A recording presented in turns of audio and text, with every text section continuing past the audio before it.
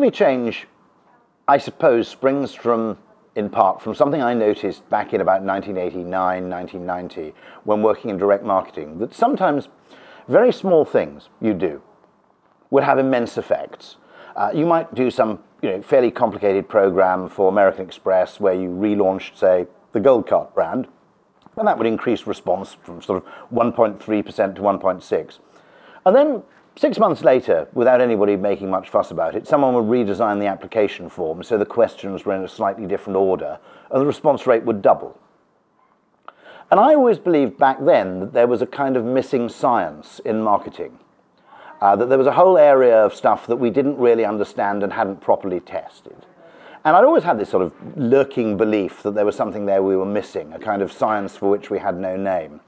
And didn't really know what to do with that instinct until about 20 years later, when reading suddenly books in the newly named science of behavioral economics, I realized there now was a name for this. It was called things like choice architecture, for example. And so I realized that in everything we do, if we're not careful, we can optimize everything we do, but miss a few of these very, very important things. And if you think about it, if you get everything about your campaign right, everything about the advertising, the promotion, the positioning of your product, but the choice architecture of the form with which you sign up just isn't very good. It's only half as good as it could be. Then that means, with a systems perspective, that everything else you're doing is half as effective. So we have a little slogan as Ogilvy Change, which is dare to be trivial. And I suppose what you could say is this is just good complex systems science. That one of the things that makes complex systems like markets different from mechanisms is that rather like meteorology, there are butterfly effects. There are very small things you can do which have disproportionately large effects. And our job as Ogilvy Change is to be in part butterfly hunters, looking for these little things that have to some extent just been ignored or not tested, either because people just think they're trivial or because um, uh, in many cases they're beneath the dignity of people to get involved in. You know, usually the design of the form or the design of the uh, pricing form or the, whatever is delegated to someone with not much power and discretion. And our job is to actually elevate the importance of these things and make sure they're right. Because if we don't get these things right, everything else we're doing is much less effective than it could be. Why Singapore? Um, well, partly because I always like traveling to places where I don't need a plug adapter. Uh, so that was one of the major reasons why we decided to launch here first. But other reasons are, um, first of all, city states, we think, are the perfect place to actually apply some of these learnings. They're places of the kind of size uh, with a you know, controlled, discrete economy where we think that behavioral science can be of importance not only in the marketing sphere but also in the public policy sphere.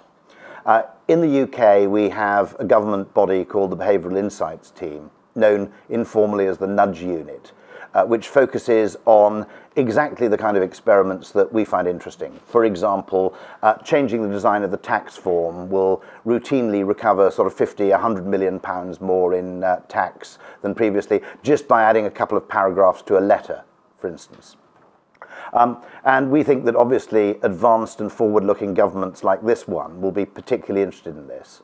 And I think that's true. There's also an element where I would argue that in the highly developed world, and Singapore is about as developed as you can get, I would argue that the conventional economic approach to problems has kind of run out of road. That simply continuing to optimize existing conventional economic metrics will start to bump up against the kind of law of diminishing returns.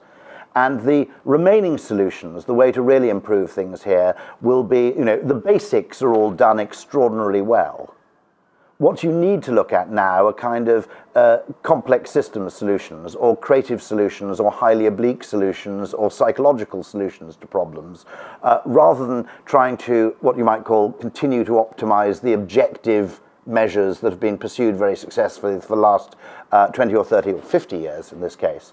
Um, I think you know there are certain places and economies in the world where uh, we need to look to vastly more creative and oblique solutions to continue to improve things. Singapore is stage three of the global rollout of Ogilvy Change following uh, London and Prague. I'm now travelling on to Sydney to preach the behavioural economics gospel uh, down there. And we'll continue to expand. We have plans for Madrid, for example, and Barcelona. We have plans for Paris. We have plans for Chicago and New York. And we see this as very interesting in a particular way because the beautiful thing about behavioral science is it's kind of fractal. I always say there are no rules in this business, in the social sciences and understanding how people behave. There aren't any rules, but there are patterns. Um, the most valuable thing I think we can do here is we can find patterns of human behavior in one field of marketing activity and apply it somewhere else. I'm giving a talk later on today showing exactly how you can use the insight of stripy toothpaste and people's preference for stripy toothpaste to design a better pension. And the other interesting thing about exactly this kind of approach is it doesn't confine itself to any discipline. You can use the knowledge and the insights this generates in everything from advertising to activation to direct marketing to digital to website design to search engine optimization. So it's purely a group thing. So actually, we think, you know, this science patently belongs everywhere within marketing. Apart from anything else, marketing desperately needs a credible scientific vocabulary to back it up. I've always, I've always said for years that, and there's a great colleague of mine who said that the vocabulary of marketing is a bit like the vocabulary of astrology. It sounds fine if you're talking to fellow believers, but if you're talking to anybody else, you sound mad. And I've you know, repeatedly said, you know, it's fine amongst ourselves to talk about you know, brand iconography or whatever. If you use that kind of phrase to someone who's a CFO or someone who's, for example, an actuary, it's like going to the head of uh, thoracic surgery at St Mary's Hospital, Paddington, and saying, we must all trust to the healing power of the crystal. Okay? It just makes you sound bonkers. So one of the most valuable things that behavioral science does is it provides marketers with what you might call a pet science. Lots of other bits of business have a pet science. Finance relies very heavily on economics for its vocabulary and its credibility. We haven't really had one of our own, and one of the reasons why being a marketer is so damn tiring is you've got to argue everything from scratch. You don't really have a body of evidence on which you can effectively rely and say, look at this QED. And we think behavioral science will provide us with that. We think that actually, as we said, we're, we're very generous. We have a very collegiate spirit, and we'll actually effectively help our competitors just as they help us. But if there's one thing we do believe is we think Ogilvy can benefit this more than, from this more than anybody else, simply because of the breadth of our offering. Other agencies might be able to apply it in one or two ways. We can actually apply it in ten.